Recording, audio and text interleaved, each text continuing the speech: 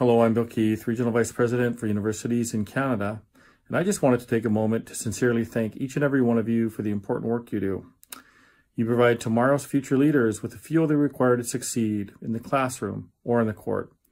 And our facilities staff work tirelessly to make sure that our campuses are clean, safe, and comfortable. Thank you very much for the incredible work you do.